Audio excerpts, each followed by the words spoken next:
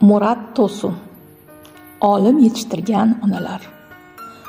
Onalar farzand tarbiyasida hamisha oilada muhim o'rin tutganlar.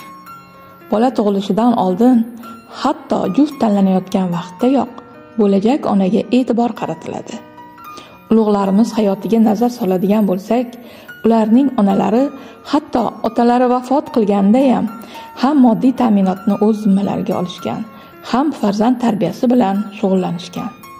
Yillar davomida chekilgan zahmat natijasi o'laroq imom ahmad imom buxoriy kabi buyuk insonlar yetishgan. Bu kitobda ana shunday ulug' zotlarning onalari farzand tarbiyasida qanday yo'l tutganlari qanchalar azob uqubat totganlari haqida hikoya qilinadi. Shunday ekan har bir ona haqida o'qib alohida o'git olamiz. Muallif shunday yozadi tomas edison va uning onasi haqida o'qib qoldim va ushbu ibratli hikoyani sizga ham ilindim.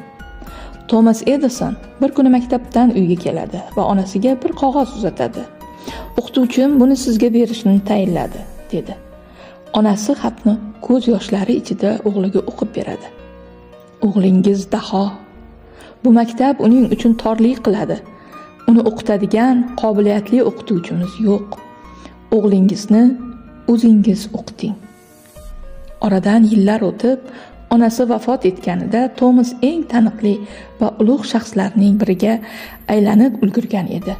Kunlardan bir kuni uydagi eski ashyolarni ko'zdan kechirarkan bir qog'oz topib oladi. Edison uni olib o'qiydi. Qog'oz ancha yillar ilgari o'qituvchisi onasiga berib yuborgan xat bo'lib unda o'g'lingiz past bola maktabimizda o'qishga ruxsat bera olmaymiz deb yozilgan edi. Shularni o'qigan edison soatlarcha yig'laydi so'ngra kundaligiga shunday yozadi. Tomas edison qahramon bir ona tomonidan yuz yillikning dahosi holiga keltirilgan ispast bir boladir. Ushbu kitob tomas edison yoki uning hayoti haqida emas lekin muallifda olimlarimizning onalari haqida asar yozish uni ommaga yetkazish niyati paydo bo'ldi. Ushbu asarda olimlar onalarining hayotidan hozirgi kundagi muslima onalar ham ibrat olishlariga aminmiz.